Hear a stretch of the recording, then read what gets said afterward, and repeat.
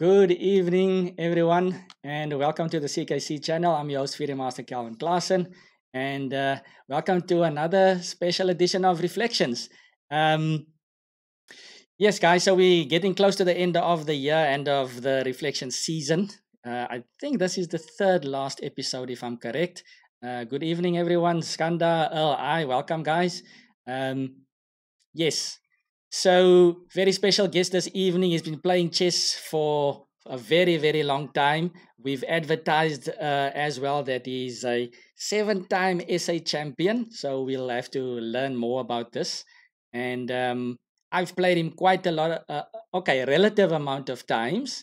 And every time I play him, I thoroughly enjoy it, whether whatever the result may be. So, um, I can also add that he's, he's, he's his style of play is very aesthetically pleasing to me at least. So um yeah i think we can um, oh yeah just just a reminder guys throw in your your questions. You don't want to miss out on this one. So please throw in your questions early as possible so that you don't your questions don't get missed. And we are also going to do some game analysis afterwards. So we need to budget our budget our time properly. Um, if you haven't yet pressed the follow button if you're new to the show press the follow button to enable chat chat if you have not um, pressed the follow button then you will notice you can't uh, chat with us so please make sure to to hit the follow button okay so now um, i think we will go over let's just make sure everything is in order. Yeah.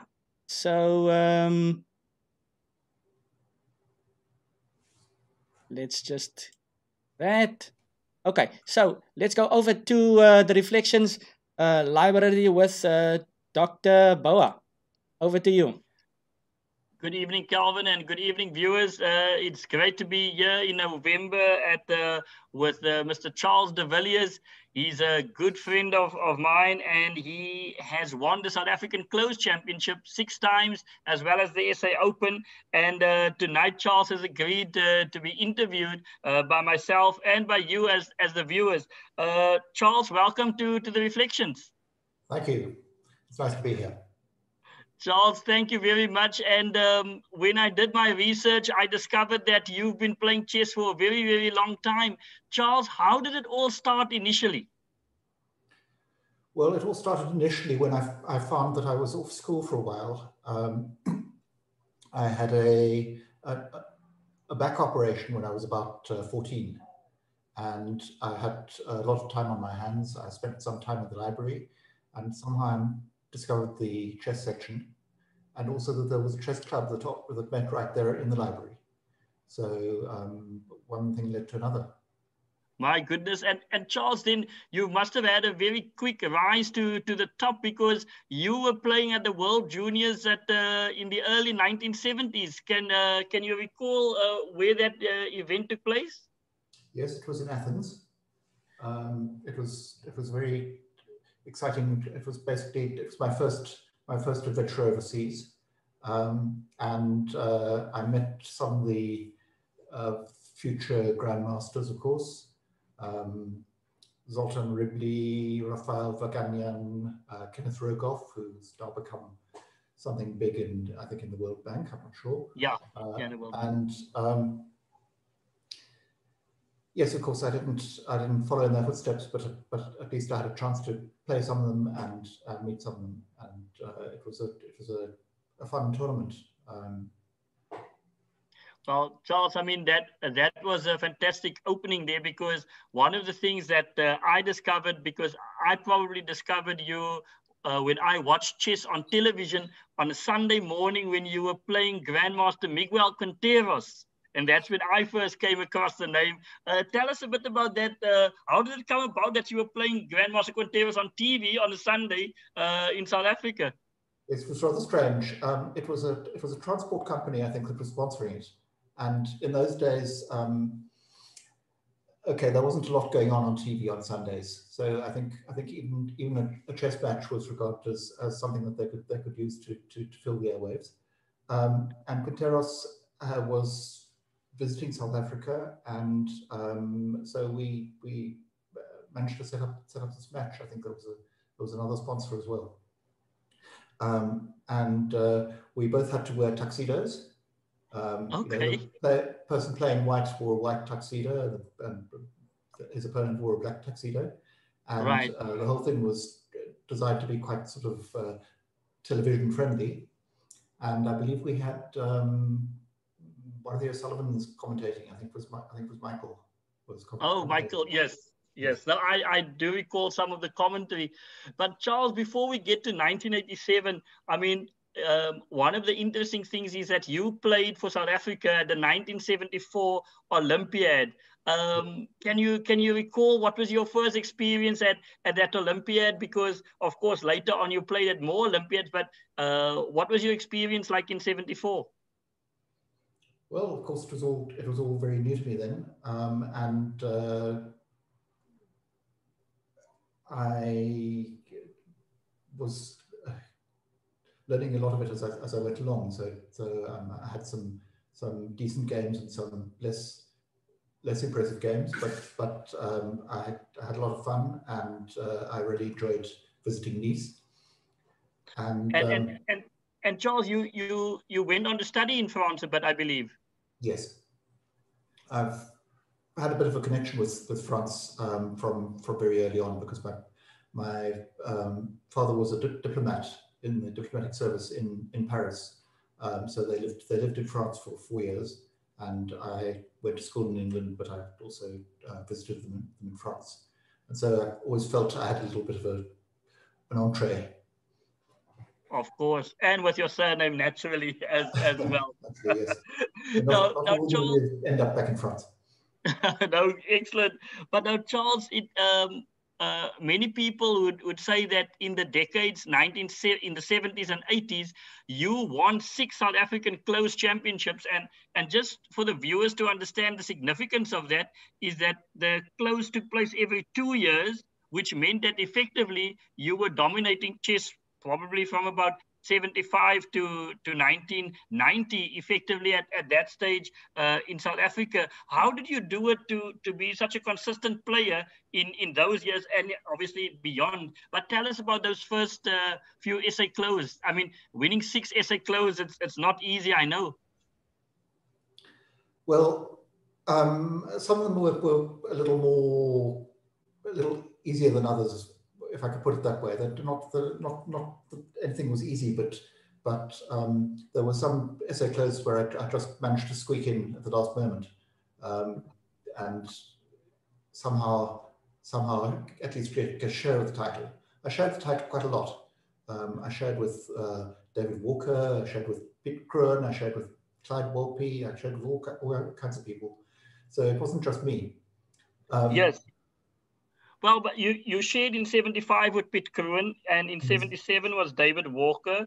85 was Clyde Walpe, and then there were there were three that you won on your own. Okay, all right. I'll take your word for it. I'm sorry, I don't I don't have all the records in front of me, so. um, no, that. But Charles, uh, uh, um, how do you maintain a? How did you maintain a high standard? Did you have a? Uh, did you train a lot? Was it one hour a day? What was your secret uh, uh during those times? I have to admit, I didn't really train a lot. I, I, I, would play a lot. I was very, very keen on studying chess when I was when I was at, of school age, and maybe a little bit beyond that. But um, since then, I've tended to be a bit lazy. I, I think I've always been a bit lazy. So um, I tend to go on instinct rather than rather than on study. And would you would you say your practical play has assisted you throughout? Because I mean, you you were a player that did not hesitate to play in tournaments, open tournaments, Swiss tournaments, etc. Would you say that that has assisted you?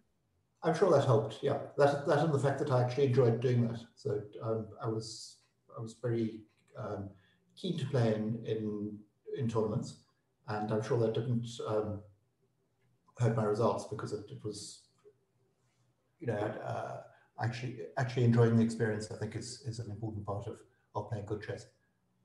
Well, I think that that's very important, just to enjoy oneself at the board and, and know that it, it's your passion. Charles, mm. if you think back to those, let's call it the first uh, 75 to, to 1981, um, who was your toughest opponent in those years? Well, at, the, at that stage, the, the, the, two top players in the country were, were um, and Friedgut. Um, Yes. And Pit, they, Kruin and, and, and David Friedgut, um, they had shared the title between them a number of times. I'm not sure exactly how many times, but um, they basically the, the, the, title would ping pong between them, and that, that, that was the great rivalry of those years. So it was quite quite exciting for me to be able to break into that um, duopoly. Um, yeah. When yeah. that when that eventually happened, but that was I think only my third South African closed. Um, I, so there was a there was a learning learning process involved. Of, of course, and uh, but but Charles, from uh, it, it seemed to me from about um, uh, the late 70s, probably 81, you started dominating quite frequently. I mean, winning 81, 85, 87, and 89 mean that you won four out of the out of the five close that was held in the decade of the 80s. So that that was probably a, a, a highlight of your career. I suppose so. Yes, yeah, um, it's it's a pity that, that that also coincided with the with South Africa's isolation internationally. Um, yeah, and you know there wasn't. Uh, I certainly certainly enjoyed enjoyed playing chess domestically in, in all that time, but it would, would have been nice to be able to play play a little more internationally in, in those years. Mm. Well, some some would say that if uh, you did play internationally, Charles, that you would probably have played at at, at grandmaster uh, level stand or, or, standard. Would you would you agree with that sentiment? No, not really. Um, I mean, I, it's it's it's easy it's too easy to say that kind of thing. Um, but I, you know, I think the only way way to become a grandmaster or to to get credit for being a grandmaster is actually to, to get there. Um, I don't think one can say, well, I might have been, you know, I could have been a, a contender. Um, yeah. It doesn't it doesn't work that way. You, okay. You actually got, got to do it, and if you don't do it, then then it doesn't count. Well, I, but I would argue though that uh, you would probably have, uh, if you had had more opportunities, you'd probably be be even stronger than than than, than what you were, uh, having only played in South Africa. But uh, so just as you said, it coincided. Yeah, yeah, and I think uh, sure. I mean, anybody anybody who gets international competition is get is get to um, improve. And I think there would have been opportunities not just for me, but for, for, for other other players to, to, to, to do better if we'd if we'd had the that those openings. Charles, when uh, uh, um, when South Africa did the reopen uh, and you were chosen to to be in the '92 Olympiad team, how did you feel? Because you you were a member of the last Olympiad team in ¡74, and now you are also a member of the '92 team, and and and and I was privileged to be a fellow teammate of yours in in that year. how did you feel being back in international chess in '92? Well, it was great, really. Um, you know, it was quite quite a strange feeling after after a lapse of twenty years to find myself suddenly back back in the back in the Olympiad team. Um, but uh, what can I say? It was it was a, it was an honor and a privilege. Charles, um, in the in the in the 94 Olympiad, you you had an excellent score and you probably missed the IM title by probably a whisker. Uh, how how did you how did you feel playing in Moscow in, in 94? Because uh, Moscow obviously is just the home of chess and, and historically and emotionally, most chess players would like to see that. How did you find Moscow in 94? Well, Moscow in 94 was a, was a kind of challenging place in some ways. Um, it was, it was, first of all, it was extremely cold. It was middle of December and um, it was minus 20 outside sometimes. Um, we were staying in this very large um, Cosmos hotel which appeared to be doing duty as a kind of den of vice and a, um, a, sort of arms dealers depot and all kinds of stuff was going on around, around us. And um, there were people who didn't want to leave the hotel at all. They thought Moscow itself was too dangerous. Um, but it wasn't wasn't my experience. It, um, Moscow was pretty pretty cold and and um, forbidding because what with not not speaking the language and and not really knowing what, where to go, but but it was it was a fascinating experience at the same time. And, and Charles, the, your games it, it, itself, you were you were playing uh, very very well, and in fact, in round one in in '94 on stage, you drew with uh, Grandmaster Shabalov, who was probably uh, also at the height of his career at, at that stage, uh, playing for the United States. Um, do you still uh, recall that game a bit? I do a bit, yes. Um, I actually looked for it for, for, for today, but I, I was unfortunately un, unable to, to, to locate it. Um, I don't know if you have it in your archives, maybe. But no, I in fact I do have it uh, in my archive, so I'll send it to you uh, uh, tomorrow as as well. So uh, uh, for sure, Charles, uh, I've got quite a few of, of your games on on that score. Um, Charles, in the surprised by that game. well, I, one of the things that, that struck me about that game against Shabalov was that uh, when they interviewed uh, Shabalov later on, they asked him how did he feel uh, to draw against a weaker player, and and your response was who was the weaker player. I don't know if you recall uh, that no, conversation. but uh, and Charles, you you were also in the Olympiad team in 1998. Uh, you went to Chess City in uh, Kalmykia. That's right. Yes. How, how did you find uh, uh, that uh, that Chess City and the Olympiad? Well, it's very a very strange, surreal place. It's like it's like going to Disney World or something because um, you know there's nothing nothing real about it. Um, you're surrounded by what's basically quite a quite a poor South Asian country, and suddenly you come come upon this um, artificial collection of of buildings built just for chess by the by the local dictator. Um, but um, I think it was at that Olympiad that somebody approached me and said, um, "Did you perhaps have a father who played chess back in back in 1974?" And I told him, "No, actually, that was me." well, but that just shows you they, they, they still remember the name of the village from 74 as as as well. And and Charles, if I if I look uh, at, at my records, then I noticed you you went to Mozambique in 2018 to play in the zonals. Um, mm. So that, in my opinion, means that you've played international chess for at least 45 years. I suppose that must be right. Yes. And but but Charles, you you've maintained a high standard, and I mean, I I'd like you. Is it uh, besides your natural abilities, it, do you feel you have a, a feel for the pieces? Um, you know what do you play against the, the person or do you play against the pieces? I play against the pieces, I think. Um, you know, I have maybe some opponents who, who seem easier for me to, to, to play against than others, but I think I'm sure that's true for everybody. But um, I I can't say that I really think about how my opponent is, is going to react during a game. I think I think about what what are the what are the pieces asking me to do and and well, I can testify to that, Charles, because um, I must tell the viewers that I recently updated my database and I found that I have played against Charles de Villiers 35 times. Charles, I don't know if I've been your opponent that you, that, that you have faced the most. I must say, I was astonished when you told me that, uh, Lyndon. I, I, I, had no idea that we played, played that many times. If, you, if you'd asked me off the cuff, I would probably have said 10 times. But yeah. 35 is, is quite, is quite, a, quite a record, yes. But I, I, I suppose that uh, uh, when I looked at the sort of the the, the calendar of, of the dates and those things, I realized that we actually played at least once a year against one another because we, we were playing in the Western Province events and in the league. And mm-hmm. and and in the Western Province League, Charles, you've you've played for for Claremont, you've played for Cape Town. Um, what has been your favorite uh, Western Province League experiences in, in these last few years? Oh, I don't know. Um, it's the Western Province League has, has, become a very different, very different place um, over the last few, few, years because it's become huge, and of course the, the, the, all the games are played in the same in the same venue, which used not to be the case.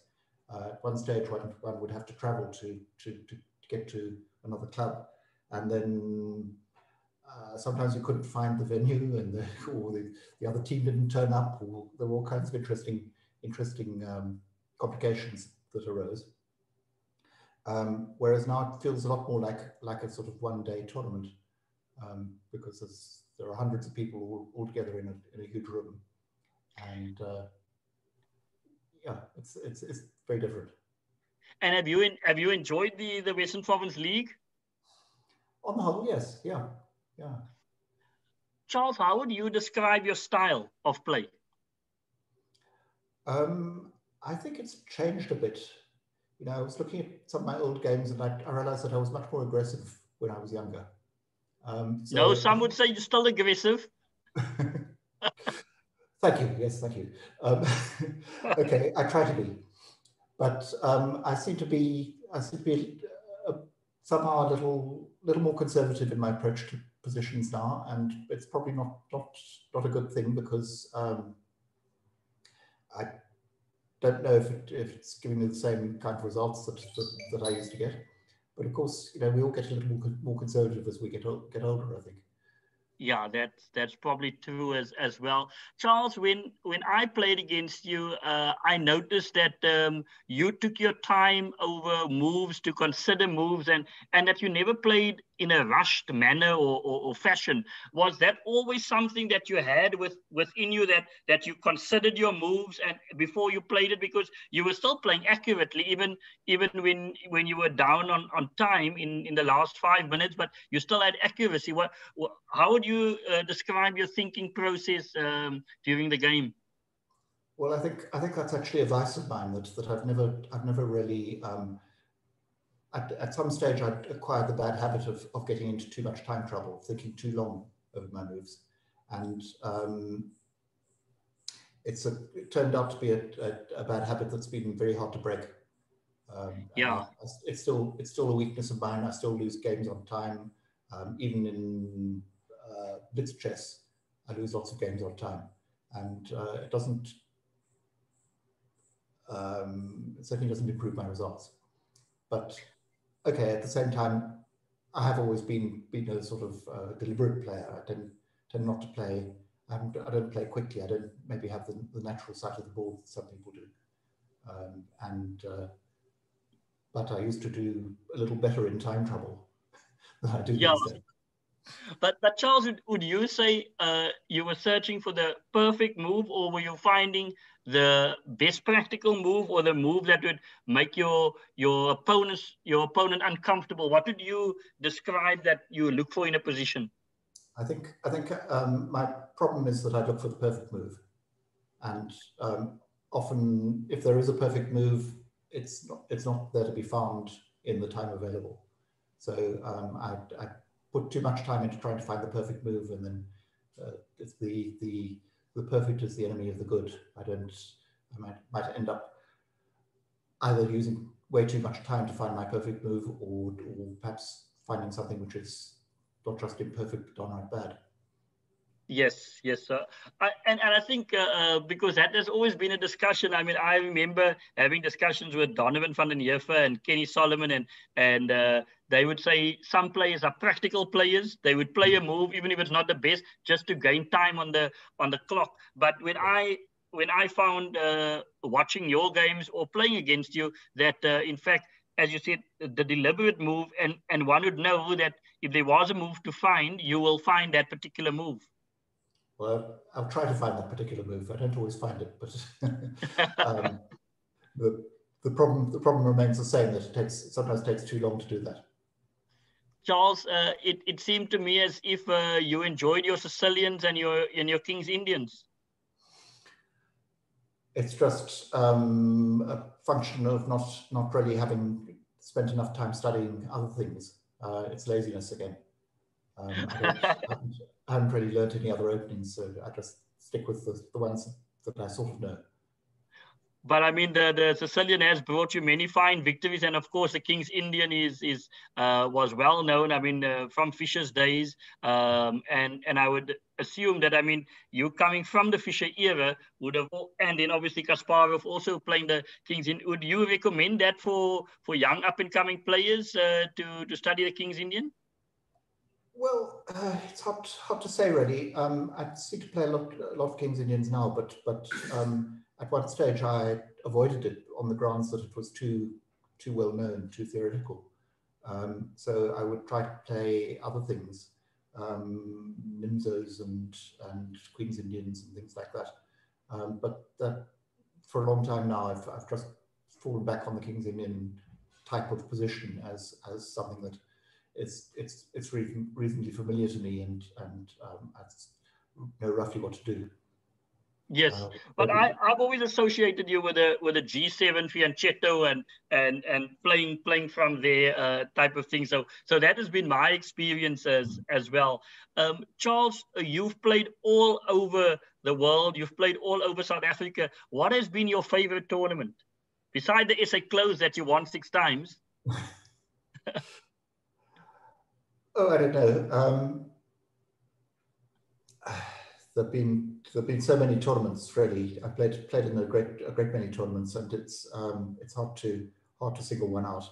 Um, I suppose for very early on, I played in a Hermanus tournament. Um, they used to have a, have a weekend tournament there, and um, I really enjoyed that because it was it was a relaxation as well as a tournament. It wasn't wasn't all that serious, um, and so that that was that was good fun. Yeah, no, I I I also recall in those uh, green SA chess magazines, there was many tournaments, uh, chess congress in Hermanus, and then of course in the wilderness and and those places as uh, as well as as time was was elapsing. Charles, who, in your opinion, who was the most famous opponent besides the ones that you mentioned, like Ribli and and Rogoff and and others in Athens? Who was um, the most famous player that you played against? Uh, well, I, I played against um, Spassky in a simultaneous. Um, you would qualify. You would certainly qualify. He's famous, but but uh, yes, I can't I can't report a good result, unfortunately. He, he wiped the floor with me. Yes. Um, who else? I suppose. Well, I have I have played Hubner in a simultaneous as well. Yeah. Um, we drew that one. And um, in fact, it was a clock simultaneous. I think it was a, it was, uh, but he was he was playing. I think I think uh, four or five people simultaneously. Um, yeah. But I, don't, I don't think I've played all that many famous players. Not not of not the world elite anyway. Um, and, and and and Charles, the 1979 and, and 81 uh, events, the, the Oudemeester ones, where Korchnoi played and John Nunn. Were you involved in any of those? Uh, uh, did you play against uh, maybe some of them in Blitz or, or that type of thing at that time? No, I wasn't really involved in those in those tournaments. I think I was. Um, it, that must have been when I was out, out of the country studying. Um, okay. I think I think when when uh, Nunn and Korchnoi came, I was I was in France. Okay, so so yeah, so then because uh, I I noticed that um, in 79 and 81 uh, i mean you were the champion of, of south africa in 81 as well. So uh, you would have uh, seen him or met him as well. But a great result against Hubner. Uh, of course i mean he was probably they, they tell me the world's strongest amateur chess player the, for a long time. Yes. Charles um, I'm going to ask Calvin if the viewers have any questions for you from my side. Thank you very much. I still have one or two questions, but let's have the viewers ask one or two questions. So thank you from my side, Charles. Calvin, right, over to you. All right. Okay, guys, I'm back. Um, so let's see. Interesting stuff, guys. Um, and yeah, thanks to everybody for for the questions thus far. So I'll start off with the, with the, the first question here um, from Cassie Chess. Um, Cassie is asking, Charles, how did you prepare for um, chess games back in the 80s and 90s? Did you have some routine? Uh, no, I wouldn't say I had a routine at all. Um, back in the 80s and 90s, um, the way one prepared for a chess game was to um, find the chess informant and maybe to, um, chess informant was, a, for, for those who don't know, um, was a kind of soft-bound um, encyclopedia of, of chess games that was published, I think, twice a year. Um, but they were very expensive. And so after I invested in the first five or six of them, I decided I was it was it was too much it was too much money for the amount of effort I was actually putting in to the okay. to the uh, to my preparation. So um, I would always go back to those those few that I had bought um, but but um, I wouldn't say I was ever a theoretician. Uh-huh. And uh, maybe compare, uh, maybe I can add to that question. Maybe compared to the later years of, let's say, post uh, 2000, uh, would would your would your preparations change at all? I don't think we use informants that much nowadays, but uh, no, did it did it change at all? Um, well, certainly I don't use informants anymore because my informants are now uh, 30 years old. Yeah. But um, occasionally, I, occasionally I will look at look at something like um, Chessbase or a similar similar chess database. Uh, particularly if I'm playing in, a, in an important tournament, I'll try and find some games played by my opponents and uh, try and anticipate what they what they get what they're going to do. All right. Okay. Thanks, Charles. Um, we've got a question here that uh, um, one of our viewers from India uh, asks everybody, Charles. Um, and the question is, uh, who is uh, your favorite Indian chess player? okay. Well, for me, for me, it would have to be Vishy. Okay. Um, I mean, it's an obvious choice, but but it's it's an easy choice. Yes. Yeah. Yes. Thanks. Um, yeah, in fact, someone said in the chat box, uh, why are you asking this question every time? It's obviously fishy. Everybody says fishy. but yeah. Okay, so let's go on to the next question. Um, let's see. This one is from Earl. How many GMs did you beat and who was the strongest? Oh dear, that's an embarrassing question. I don't think I've beaten any GM. All right, all right. Um, so that, that, that, that's, a, that's a short answer. Um, yeah, of course, but Hubner is also there in the symbol you said. Um, okay. Uh, let's see. Let's move on to the next one. Uh, also from Kasi. Kasi is asking, which chess books groomed your playing style um, or books you started uh, with studying? Okay, well, when I when I first um, started studying chess, um, I found a lot of Fred Reinfeld in the library, and mm. um, I had to eventually graduate from Fred Reinfeld, but but um, I would say that he he taught me some stuff. Um, and also there was a thing called a thing by Irving Chernev called the Hundred Greatest Games of Chess or something like that. Okay. And I, really enjoyed that one. Nice. Okay, guys, I hope you're taking notes. And um, next one is. Uh, aha. Uh, old books are, are also actually yeah, I'm good. Not sure, I'm not sure I'd even recommend Fred Reinfeld actually but that, that was just what there was most of. All right, all right. Uh, we've got another short question here from uh, Skanda. Um, according to you, is online chess best or live chess? Uh, you can't really choose between the two. Um, online chess is wonderful because it's, because it's so convenient, because you can play anytime. But um, live chess has, has got a certain magic. yes, it's, it's about it's about meeting people and um, competing face to face. It's uh, it's like saying, you know, is real life better than virtual life? Uh-huh. Fully agree. One is, not better than the other, but um, nowadays we have both. Mm.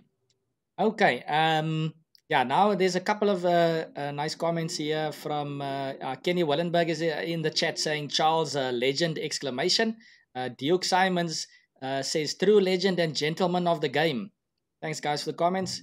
Um, and then Kenny has a question here. Charles, okay, no, I think that's still a statement, but I think a question is coming. Kenny Wallenberg also says, uh, Charles' four pawn pawns attack was my most feared line to face against. To have black against Charles back in the day was like climbing a mountain. All right. Thanks, Kenny. Um, ML has a question. ML says, Who do you consider your toughest opponent internationally um, and locally and why?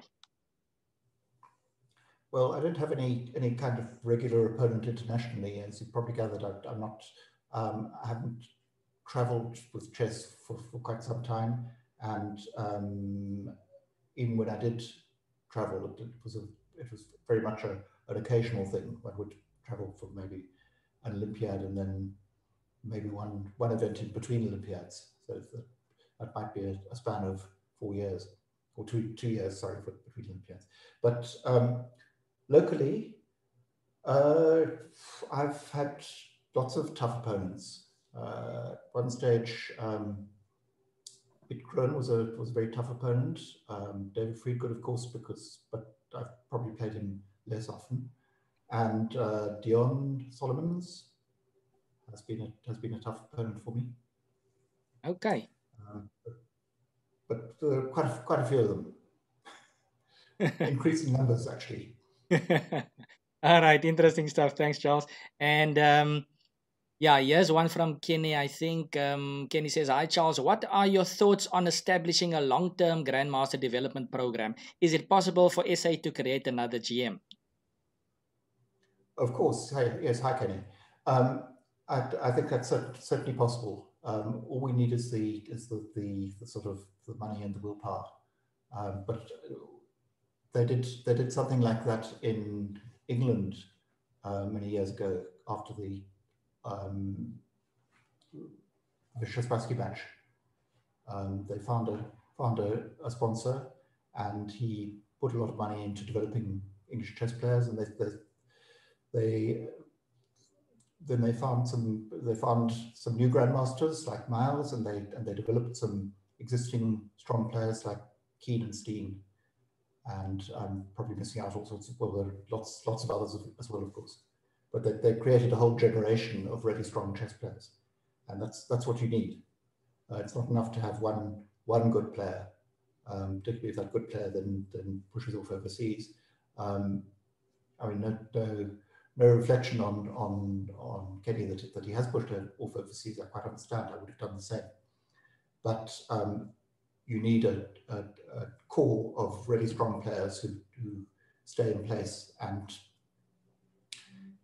um, they they become then the, the, the bedrock of the of the chess establishment. Mm. Okay, all right, thanks. Um, yeah, I think there's one or two more questions that I just want to ask, and then Here's a, one or two statements uh, from Dr. Queenie. Dr. Queenie, also a regular on the show. Welcome. Um, Dr. Queenie says, I played against Charles about two years ago. It was such an honor. He was a humble and friendly opponent, also a real gentleman. I enjoyed the experience. It's good to have legends like Charles who still play actively and who we can learn from. Thanks, Dr. Queenie, for the nice words.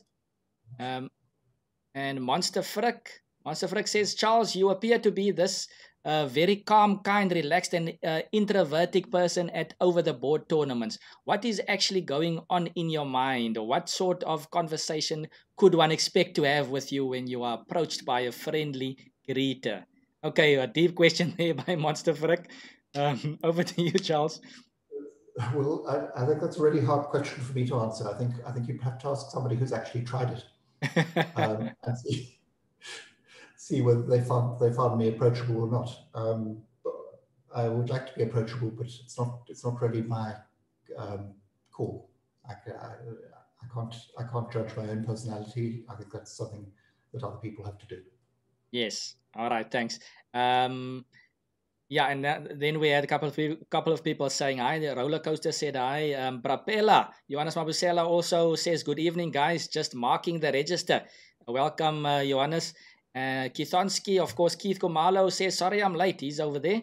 Um, and then let's let's give one more question, and then I think I'll switch over to you, Lyndon.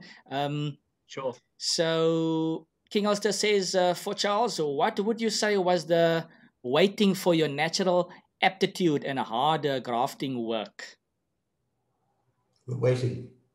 Um, I would say that it was, I don't, I really, um, I can't claim to have worked hard. I can't, I can't claim an enormous natural aptitude. I think there are other, other people who have much more aptitude than I do. i have, we've had some really, really uh, promising young players in South Africa in, in, over the years, and a lot of them have have given up chess for one reason or another.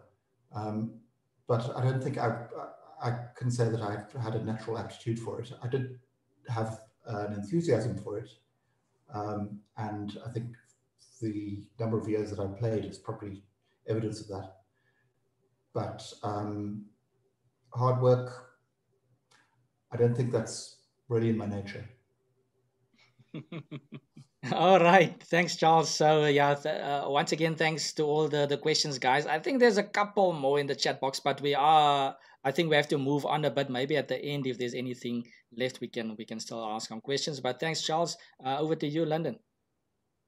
Thanks, uh, Calvin. And yes, the viewers certainly had some interesting questions for for Charles. And uh, I must just tell the viewers that yes, Charles is approachable. And uh, I mean, Charles and I have analyzed many many games uh, uh, together, and um, Charles has has no problems helping if you if you if you're a friendly greeter, as that one person asked there. Charles, you've you've played thousands of games. And uh, tonight we, we've said that we would like to invite you to show us any one of those memorable, historical, any of those games that, that you've played over the over the years. So what have you prepared for us tonight? Okay, well I thought I'd show you show you a game from 1980. No, um, that super. goes back a bit, but um, it was a good tournament for me. It was a it was a South African closed. Um, and we had um, a couple of international masters. Well, actually, uh, yeah, I think I think we had we had Kreitmann and Hamann. Um, okay. And I managed to beat Hamann and draw with Kreitmann. All right. Um, Good result. And tied tied for first in the tournament with Hamann. But uh, the game I want to show you was actually against Ewan Cromhout, who's a, uh, an Eastern Province player. Interesting yeah. stuff. Um, uh, so, sorry to cut you off there. Uh, just apologies, Charles. I was about to say there, Lyndon was gone, but he's back. Um, yeah. Okay. Cool. Lyndon is back now. Right. Um, okay. Thanks, Charles. You said Ewan Cromhout. Uh, of uh, just just to add, I grew up in in in uh, Eastern Province, so um, I had to travel okay. maybe an hour and a half uh, weekends to to go and play in a, a, Port Elizabeth event, and Ewan was the the big. You know, when you're playing at, I don't know if you guys played TV games yet. or, you know, when you fight in a fighting game, Ewan is the big boss at the on the final stage that you have to play. So, okay, I'd like I'd love to see this one. okay. So, so are we going on to the Lichess platform, uh, Calvin? Yeah, we are already at the chessboard, so we are ready to Great, go. Super. Okay, so this is um, where was this tournament? It was in Port. It was in fact in Port Elizabeth. This tournament. Okay. Um, okay, so I had white. I played d4, knight f6, c4, c5, d5. Um, sorry, Charles. Uh, is it possible for you to to lower your your Lichess volume? because we that. Uh, if you go yep. to the bottom right uh, and you right click on your your audio settings i think if you uh, go right click on your audio and then open volume mixer there should be a uh, bottom right i'm looking for it um, because we can hear like uh, i hear a couple of banging of pieces mine and yours and so on um, Yes, sorry, I can't actually see see this thing on the bottom right. I can see something that says friend, friends online. Um. Okay. You know what? What I'm gonna do is I'm gonna lower my volume for of of Lichess. Okay. Then then we they can't hear my volume. Just hang on a second. Yeah. Then it's not at least too much uh, chess sorry, pieces we hear. Looking, looking, for my for my volume for for Lichess, but I don't. No, no worries. I think I'm I'm sorting it out my side. Okay. All right. Okay, let's let's continue. And by the way, uh, Roland Willenberg is also in the house. He says, "Hi, Charles and panel. Welcome, Roland." And um, Roland. Earl says, uh, "You're playing Mr. Muscle, um, uh, Charles." All yes. right. So, so you and playing a Benoni. Intimidating. It seems the um, the, the, the, the big guy, the big guy in the room. Yes. yeah. And you know, you know what? I don't know if uh if uh, does my memory if my memory serves correctly. I saw Ewan this one time. This is many years ago. I saw Ewan wearing a t- a, a, a t-shirt. Um. Okay, his shoulders was very oh, much open, but the t-shirt had a chessboard on the back of the t-shirt, and a, a chessboard, and it said, "If if you want to play me, I'd have to take off my shirt." I think I saw one like that before. But uh, anyway, let's let's continue. So e6. This is the kind of thing. Yes, e6, knight c3. Okay. I'm afraid I've been playing the four pawns attack far too long. actually, actually, I learned the four pawns attack from from Bachar Kouatly um, oh, when I was in France. Um, he was the the local champion in Grenoble, and um, we played hundreds and hundreds of blitz games with the four pawns attack and I, I started started learning it there from both sides. Um, okay. Well, now Kenny Willenberg knows where it comes from. Yep. Okay, takes d5. Okay. Assuming pawn to, pawn to d6, yeah. e4. Uh, sorry, we still got that double double click thing. No worries. Uh, It's, it's it's fine. minor. No- it's no no issues. issues. d6. Okay, so here it comes, f4. Aha. So we're back into four pawns. Okay. Okay. Bishop g7. Okay, now there's this funny line where white gives check. Okay. And it turns out that um, there are some very tricky lines where black plays a natural move like bishop d7 or knight d7, but the theoretically the correct move is to play the knight back to d7, Yes. or Yes. because other other moves allow white to play e5, Yeah. and uh, get quite scary for black. Yeah. Um, okay, so I've got this line that is not very common. I believe it has been played before. In fact, we'll see here. Okay, um, yes, there have been a few, a few uh, recent examples. Duda played played it against Pankratov and won. Okay. Um, okay, Duda's got a rating of 27.58, so I guess it can't be that bad. Yeah. Yeah, it can't be. So, so you're referring to bishop e2. Bishop e2, yes. Okay. The idea is to try and um, forestall Black's plan of a6 and b5. When he Uh-huh. plays a6, we play A- a4 and stop him. Okay. Meanwhile, we, we forced his knight back to what we hope is an inferior square where it, it kind of gets in the way. Yeah. Um, so, all right, Black carried on quite logically. Knight came to f3. Um, knight to a6. Okay, so the knight can't come out to d7. Oh, of course, the worst thing to do here is to play knight f6. Yeah, because then then I you're get four pawns attack with an extra tempo. extra tempo. Yes. Interesting. And, uh, four Yeah. pawns attack is scary enough as it is. Yes. I think uh, you, you don't need no need to give, give white an extra tempo for it.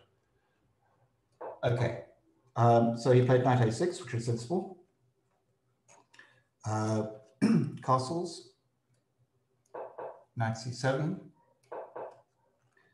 uh, a4. Okay, that's maybe not quite necessary yet, but because he's not yet threatening b5, but apparently I played a4. All right. Uh, black, I beg your pardon, he played black, played rook e8. Okay. Mm. Okay, so this is this is all fairly standard looking stuff. Yeah. Um, the person who's annotating this, I think, is David Walker, who was a very strong player of, of the time. Um, and his comment is that rook e8 maybe doesn't fit in all that well with black's with, with this current situation. Okay. Uh, the reason is that ultimately white, it's rook e8 is a very natural move. I mean, yes. Actually, Mm. everybody plays it, and it even seems to threaten the pawn. Um, could, because black could th- theoretically play bishop takes e3 and then rook takes e4. But um, in practice, people tend not to do that because they Yeah. don't want to give up, give up that dark square bishop. And Yeah. if you if you do that and then white plays c c4 followed by bishop b2, then I think black is going to have a, a lot of suffering to do. Mm. Yeah. Before And of course, knight g5 and pawn to a5 immediately exposes the king side. yes, all these all these things can be can be quite alarming for black. So he usually doesn't want doesn't want to get, get involved in such a thing. So I can't I can't afford to ignore him, which I do. I play king h1. Okay. Okay, because sooner or later there is going to be a check on that on that open diagonal, and basically it's it's meant to be a waiting move. I'm waiting to see what he's going to do. Is he going to play knight f6? Then I- I'll play e5 with great gusto. Um, is he going to take my pawn? Then okay, I can live with that. Yeah. Um, because as I said, the c4 and bishop b2 plan is going to be very strong. Um, Mm. So where are we? He played b6, which is probably a little bit slow. Okay, black has to get going on the queen side. Given that he can't can't do anything constructive on the king side, he can't play knight f6. Um, Yeah. e5. So he might as well get going on the queen side. I, th- I think he should maybe go straight for a6 and then b5. So even what he's worried about, I think, is that I might play after a6, I might play a5. Yeah. That's that's okay. I think black gets plenty plenty of play that way. Mm. Um, even if black then plays b5, he gets a slightly compromised queenside pawn structure, but um, he also gets some play for his pieces, which right. he's definitely going to want to want to get. Okay, so, so A6, now, A6 rook B8 would have been better in that position. I'm sorry. A6 and A6 and rook B8, and even A6. if you do play A5, then the rook can still put pressure on the B file. That's right. Yes. Yeah. Okay. So I came up with this plan of Bishop D2. Okay, which it seems has never been played before. Um, and the idea is to bring the bishop around to H4. Um, so if black doesn't do something fairly effective now, um, I'm hoping to take advantage of the of the slowness of black's play. Yes. If I can get my bishop to h4, then uh, I think bad things are going to start happening to the to the black king side because right. there's very short space there. Okay. Um, all right. So b6, bishop d2, rook b8, question mark. Okay. Okay, another natural looking rook move uh, with another question mark. Yes. But it's just it's just too slow. Um, I think this was the moment to play knight f6, in fact, because right now my d, d pawn is underdefended. So I might be forced to play something like queen c2. Okay. Right. Just to hold my e pawn. Um, and that would be annoying for me because I'd, I'd, I'd, much rather have my queen on d1 at the moment. Okay. Where it's supporting supporting the d pawn. And um, yeah, this is the this is the drawback of having the bishop on d2. Because uh -huh. I don't I don't have knight d2 at the moment which is the more natural way to, to defend my yes my e-pawn. And of course, I can't afford to if if you were to take on e on e4 with the knight, it would be a very different very different story. It's mm. not it's not entirely clear because I've still got still got some play with bishop d3 and f5 and so on, but um, it's at least he keeps his dark, dark square bishop, which is which is vital in this current position. Yeah. Yes. Um, bishop e1. Okay, well now I'm ready for knight f6. I can just go bishop h4 or I can even go e5. I like that bishop maneuver. Bishop is maneuvering its way to king side. Is coming. Ah. Uh, so he played a6. He's not going to be deterred. He's going to carry on with his plan. Bishop h4. Okay, now I don't. F6 is, is just a really bad move. Oof. Yeah, it looks f6 look uh, looks ugly. I guess he has to play bishop f6 or what? I think, I think I can play. I can just play e5 anyway. Yeah, f6 and e5. Give up. I'll give up a pawn, but my pawn's coming to d6. My bishop's coming to c4. Uh, that can, open. can we just uh, show this quickly? Um, f6, e5 with a spin over there.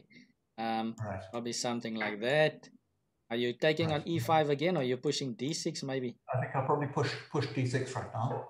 And you've got lots of compensation here. That's d5 square. Knight, the bishop can get to c4. Lots and lots of play. The only sensible square for, for that black knight is e6, after which I just capture again on, on e5. e5 and, and then... Uh, can't even recover his pawn. Beautiful. Yeah, so that's that will be horrible. f6 definitely not playable. Uh, so bishop f6 is the only move. Okay. Um, where are we? Okay, so bishop g3. Okay. I've tended to the bad square. Yes. I'd rather be able to get the knight there, but the, the bishop is, is in the wrong place. Uh, mm. He goes away. Bishop g7 again. But now I'm ready for e5 yeah, you've you've planned it now. You've got a knight and a bishop on that square, and of course pawn to d6 coming. Okay, I could still I could still lose a pawn here, but I'm I'm cool with that. Um, it hmm. depends mm. very much on what happens now. Okay, so so, so uh, Charles, I, I just have a question for you. Um, right. So, of course, in this structure, E5 is our thematic uh, breakthrough in the structure. Um, but yes. maybe for the viewers, how do you sense the timing in this? Because, I mean, uh, could you not have built, uh, built up a bit more, maybe queen d2 and rook d1 or rook e1 and something, and then e5? Or do you feel like, uh, or, or why now e5? I think uh, I, like, I like e5 now, uh, partly because he will eventually get round to playing b5. Yes. Um, so if I don't play it now, I'll probably have to play it next move before before that knight come before that pawn comes and chases my knight away. And then yeah, then you lose the grip. The knight actually wants to go to d5 at some point. So timing is still important here. Yeah. Um, the knight, knight wants to go to d5 or to e4. I mean, after yes. this move, my, my immediate threat is knight e4. Aha, okay. When the, the knight is really going to come thundering into, into the black position. All right, so um, to e5? Or even bishop h4, of course, could be a strong strong move again now. Okay, so he took it. And now d6. So again, he's got this dilemma. He doesn't want to put his knight on a8. Um, so he has to put it on e6. Yeah. But now I hold my pawn and I have this tremendous pawn, pawn structure in the center. Wow. Um, he can't even play b5 anymore uh, because he would lose a pawn. It might be might be his best best idea, but but the main idea, as as Calvin said, is is that my knight is coming to d5, and yeah, to squares like e7. Um, so yes. things are things are looking a bit grim. Beautiful. So he got the idea of f5, which is mm, probably not great, but at least it, it's active. It's he's threatening to go f4 and then and then take my pawn. But unfortunately, okay. it doesn't. It does allow a bit of a sacrificial sacrificial finish. Okay. Play bishop h4. Bishop goes back to h4. Back for more. Yeah, back for more. Um, but now, of course, he doesn't have doesn't have anything to put in the way. Oof. So G5 is a. G5 is absolutely forced, and now I can take it. So that I can sack sack the knight. Okay, um, knight takes. This is getting very very scary for him because after knight takes, rook takes, h6 um, maybe come to c5, the knight come to e4. Oh yeah. Oh, yeah. Um, was... For example, if not, uh, if then h6, then I can simply um, give a check. Check with the bishop or? Check with the bishop, say. Yeah. And then after the king moves, um, we are going to have some serious, sorry, I was going to actually going to put it on H7, I think. Ah, H7. Okay. But it doesn't, I don't think it really matters at this stage because I'll get go bishop takes and queen h5 check and rook f7 check and all, all kinds of bad things are happening. Oof. rook f7 check coming next. Yeah, complete domination on the light squeeze. Um, so. Nice. Okay so, okay. so I guess knight takes is not possible. Knight takes knight is not possible, so he tries this. Knight f8 or something? I don't know. Um, he went knight takes e5. I think ah. if, he, if he plays passively here, then it's it's all over. Yes. Um, he can't he can't afford to just give. I mean, at, at, the very least, I could play something like knight f3 again, and yes. just lost a ball. But I think rook takes f5 is going to be killing instead. Just go rook takes f5, my bishop is coming to c4, my queen is coming to h5. Um, he's got no compensation whatsoever. And I, I just won two pawns. Yeah. So knight takes e5 was played. Knight takes e5. It's more in the spirit of let's complicate things here. Yes. Um, so I went rook takes f5. So clearly capturing on g5 is not getting do him any good. Um, he played knight d4, once again, going for activity. Yes. Rook takes e5. Ooh, sure. Okay. Well, you know, things are things are just falling into place for white here.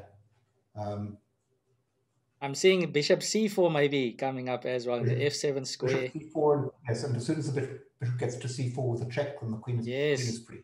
That's great. You removed the knight that was actually defending that square. That's right. Um, mm. So he went bishop takes, I think. Bishop checks. King here. Queen h5. And mm. I think so really, um, really a bit sad. He played yeah. bishop f5 at least he's holding his H pawn. Um, now I managed a little bit of a finish here. knight f7. Uh, where does this queen go? He went queen c8. And now bishop f6 check. Oof, nice. Oh, didn't see wow. that. Bishop f6 check. Yes. So what's the um, idea here? Okay, so if king takes f6, then queen g5 is just mate. g5 is mate. Wow, that's a beauty. Yeah, let's let's show it for the viewers. King takes and queen g5 is actually mate, guys. Okay, and so and um, bishop he takes. Have any, he has to, has to go bishop takes. Yeah. But I've got queen h6 check. Um, how does this go? King g8. King g8. Okay, I have a discovered check with the quick with the knight with the knight, but I don't really need that because I've got queen takes f6. That's threatening mate in two ways. Oof. Wow, queen h8 and knight h6. It's like yes. a, a scissors scissors move so over there. He actually played rook e6. I don't think it makes any difference. Uh, rook e6, but then knight h6. Wow, beautiful. So, well done, Charles. Yeah, that bishop f6 is uh, it's a it's a beautiful move. You won't uh, look at that immediately, but um, I think I think I think White is White is probably winning in that position anyway. But um, it was quite a nice, nice little finish, I thought. Yes, I do want it in style like that. And Isvan is also in the chat. Uh, uh, Isvan Jonji, and uh, he oh, says, "Wow, Bishop f6. Did not see that. Nice, Charles. Um, welcome, guys. Um, yeah, yeah. I mean, uh, that's that's beautiful stuff. Uh, so so Bishop f6. So you couldn't do queen h6 check immediately. It wouldn't well, have can. the same same effect, so to speak. It's I mean, a lot less forcing, yes. Yeah, so uh, I like that. Wow. I think you'll still win uh, with knight, knight takes e5 check and bishop f6 check and so on. But uh, I liked. I liked yeah, this is very forceful and just uh, yeah, no. convincing. Yeah, uh, great, great game there, Charles. Because you sacri- you sacrificed the exchange, and then you gave up this bishop to to force this position uh, effectively as well. So I mean, and of course, pawn to e5, Calvin. And and and and, and yeah, the thematic e5 thrust. And I just want to mention before the final move uh, that Black played rook e6. I mean, look at the the two rooks. The rook is still on e8 with a question mark on its head, and the rook is still on b8 with a question mark on his head. Um, okay, I'm being a bit uh, harsh there with those moves, but of course it was the timing, like you said. He managed to play b5. Yeah, he didn't get in b5. Yeah, so. all, that, all that preparation. Yeah, very beautiful yeah. game. Typical stuff, guys. If you want to know how to play these structures, definitely take a look at uh, Charles de Villiers' games. Um, he knows a thing or two about this. So yeah, thanks, thanks so much, Charles. Beautiful game. Okay, thank you. Yeah. And and Charles, would you be uh, uh, available at some stage to show us a few more games uh, uh, when you have some time in December? Uh, yes, I suppose so. I should. I've got now. Now that I've now that I've done some research, I've, I've managed to find a few of my games. Um, difficulty with deciphering the score sheets, so um, the ones that have been published rather than the, the ones that I, I've just got in my own records. No, no, Charles. Then, then Calvin, I think we should invite uh, uh, Charles back one uh, one Saturday or so uh, to show us some of these games because not only are they historical, they're also memorable, and one can learn quite a lot from them as uh, as well. And and Charles, I dare say that uh, you were very attacking in this position, as you said earlier in in the interview. Um, yes, well, I, I, I I suppose I don't very often play um, such attacking games now, but uh, uh, occasionally, occasionally it turns out that the, the old lion has some teeth. Yeah, no, no, for, yeah, no, that, that game Charles, was vicious. And Charles, was it uh, this game? Um, Ewan Cromhout, by the way, says that uh, this game was played in the last round of the 1980 SA Open, and by winning this game, you won the title. Wow. I suppose that's true, yes. Okay. Uh, just by the way. I, just by the way there. So, so uh, no, thanks, uh, Ewan, and uh, we'll also uh, at some stage interview him next year as well. Charles, from from my side, uh, uh, it's been great chatting with you. Any last comments to to the viewers out there? How would what what would you say should one be able to do if you want to improve say from 1800 to 2000. Let's just use that as a, as a vantage point. Um, what, what would you study more, play more? What advice would you give to, to the viewer out there? I think um, you have to do both. You have to study somewhat, but not, not too much. If you study, if you study too much, you can become quite stale and, and uh, overbooked. Right. Um, I think it's important to have to have a lot of lot of practical play, but also to to learn from your mistakes. If you, if you once you've played a game, um, you have the wonderful facility of a computer that will tell you afterwards. Don't take it too literally. Uh, half a half a pawn on a computer is not much. It's not the computer can be wrong easily by half a pawn. But once it gets more than that, um, if they point out, if the computer points out a blunder, then you need to take that on board and, and, and learn from it. Right. No, thanks. Thanks very much, uh, Charles, on that. Charles, do you still have five minutes to take two or three questions from the chat room? Sure. Okay. Uh, Calvin, let's let's end uh, uh, our session with two or three questions from the chat room that you might not have asked earlier. Okay, let's uh, let's get uh, the questions going here. Um, where was I when I left the questions? Um, Okay, so yeah, we've got a question earlier from from Sally Mesh. Sally Mesh was asking uh, best opening for beginners as black and for white, please. really, that's that's so much a matter of personal choice. It depends. Yes. Are you if you want to be if you want to play exciting games or if you want to play logical, calm games. Um, I guess I play exciting games, then I can recommend the Four Pawns Attack um, if you would rather rather learn um, positional play and you know learn how to play like a grandmaster, then then probably it's better to to um, do something like uh, learn something like the Queen's Gambit. It's it has a, a rather boring reputation, but actually there's a lot of lot of subtlety and, and beauty in it. Um, right and there's a tremendous amount that one can learn. One, particularly, I mean, from the games of Capablanca, one can learn a great deal about how to play the Queen's Gambit and how to play positional chess in general. Sure. Okay, great stuff. Uh, thanks. And uh, we've got a question here from Sean Willenberg as well. Welcome, Sean. Uh, he says, um, Hi, Charles. Nice to see you. What do you do for relaxation? um, I suppose I play online chess for relaxation, um, but I'm certainly not playing seriously at the moment. Um, other than that, uh, I've been watching a lot of the American elections, which is not, actually not all that, all that relaxing either. It's very bad for my blood pressure. And um, Netflix, that sort of thing. Ah, okay, right, Good. cool. Queen's Gambit. Yes. So, um, yeah, next question from Monster Frick. Um, Monster Frick says, Charles, looking back when you achieved the title of FIDE Master, what did it mean to you? Was it a wow, a personal acknowledgement for for your hard work, or just something that must have um, some point happen, something that happened at some point? Well, you know, obviously at that stage, I was I was hoping hoping for a, a an international master title uh, but it didn't it didn't happen. And um, the FIDE Master title was just a nice um, consolation prize, if you like.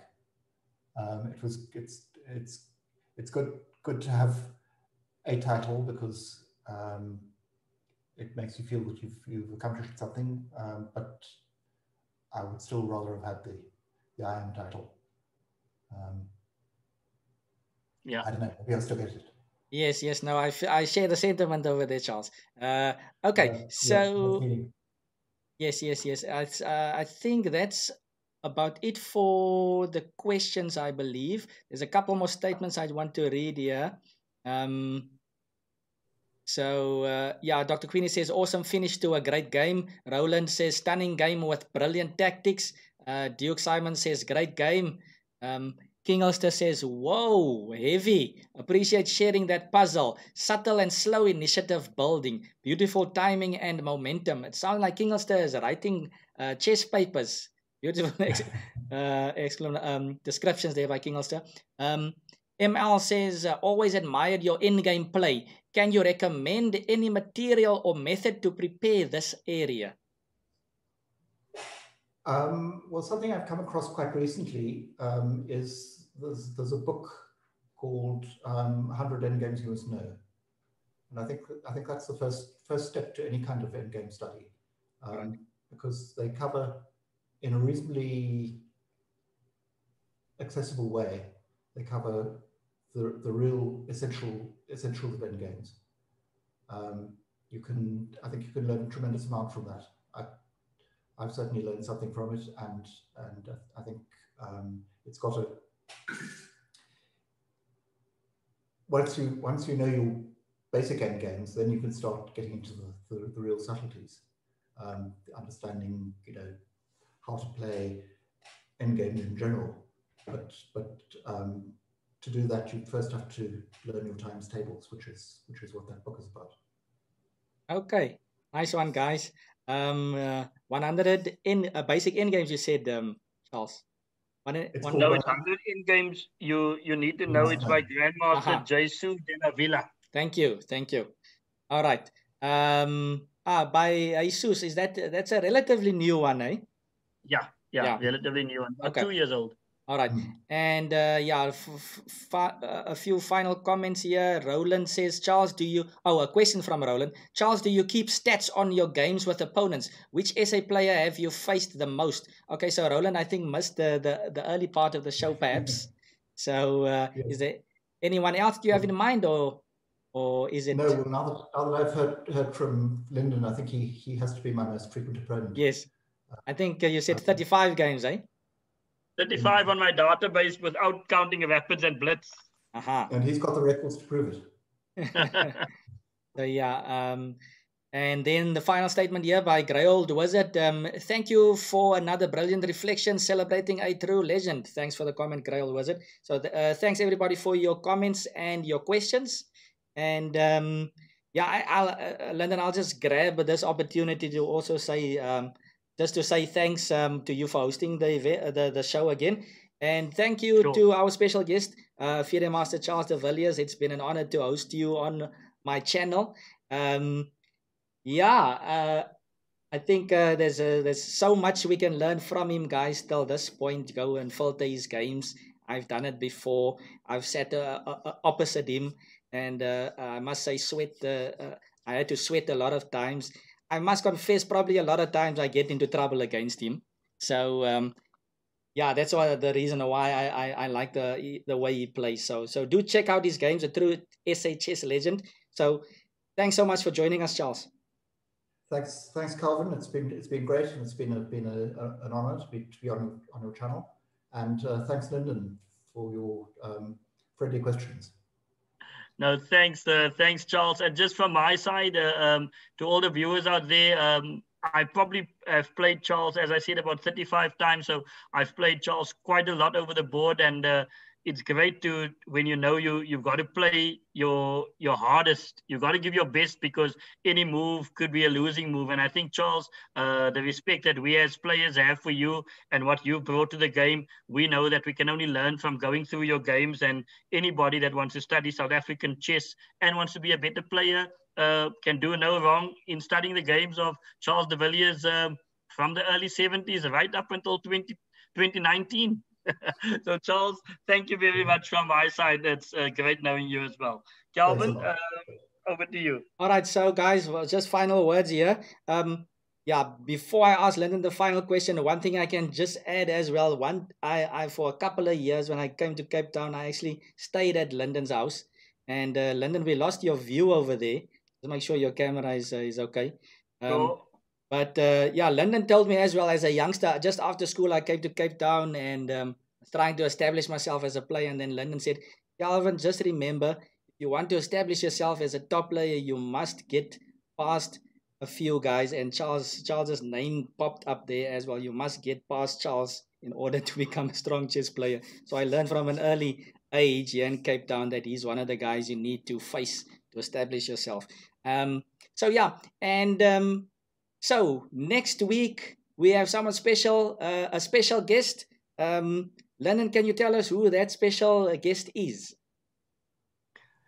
Calvin, the special guest next week will be Dr. Queenie, a lady who's won the South African Close Championship three times. And uh, we'll be looking forward to interviewing Women International Master Dr. Denise Bauer. Aha, so we've got Dr. Queenie in the house. Um, uh, WIM Denise Bauer, and lots of lots of uh, things we can learn from her as well. So looking forward to this one. And uh, like I said, this evening's uh, show is the third last one. The second last uh, show next week, guys. Don't miss out, 7 p.m. usual time. Um, thanks for everybody for tuning in. Thanks for the comments. Um, tell your friends about the show and make sure to press the follow button. Um, yeah, oh, I see one more comment here. Master Frick says, Thank you, Charles, for allowing this opportunity to share a great game by you and answering our questions. Thanks, Master Frick. All right, enjoy the rest of your evening, guys. Thanks so much uh, to the viewers as well. Enjoy evening, guys. Okay, thanks, guys. See you next time. Cheers, cheers.